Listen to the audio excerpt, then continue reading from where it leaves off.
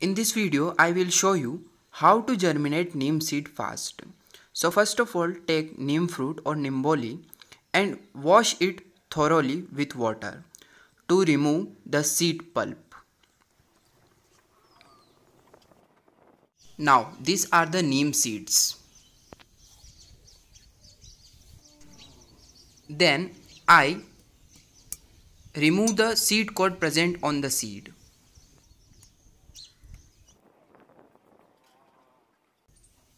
Now these are the seed after removing the seed coat. And by the same process we further remove the seed coat of other seed. Now I take other nimboli or neem fruit and wa again wash it thoroughly with water. Now I have two type of seed. In right hand side I have neem seed with seed coat and in left hand side I have neem seed without seed coat.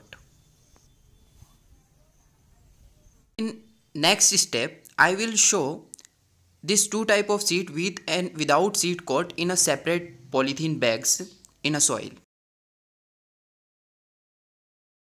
I am showing seed with seed coat in this polythene bag.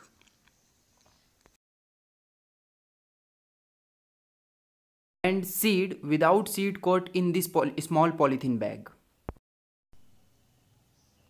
Now our experiment is ready. Let's wait for few days for result. See, after 6 days, seed without seed coat are emerging. Seed with seed coat are emerge out after 12 days. So there is a 6 days difference between with and without seed coat seed emergence. So if you want to germinate neem seed fast, before showing remove their seed coat. Please like the video if you enjoy it.